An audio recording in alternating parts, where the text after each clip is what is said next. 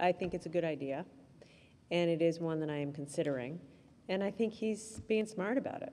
Um, The fact is, those states have done a very good job uh, reducing the rate of spread. And I just explained, you know, Arizona, Arkansas, California, et cetera, are struggling.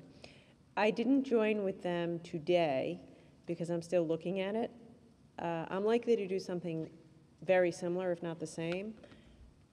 I haven't fully figured out how we're going to operationalize that and enforce that.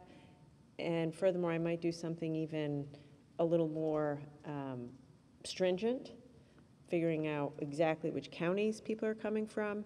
So the short answer is, I think it's a good idea. I'm looking at it. We're very likely to do something very similar. I just needed a couple more days to figure out exactly what.